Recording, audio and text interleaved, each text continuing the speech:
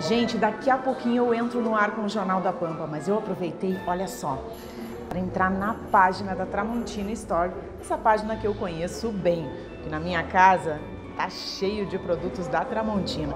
Mas eu tenho uma missão aqui, escolher o presente do meu amigo secreto.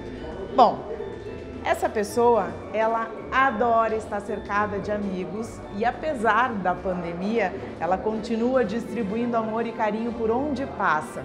Eu tive uma ideia que eu acho que ela vai gostar. Aqui, ó, faqueiro Tramontina Havana em aço inox com 36 peças.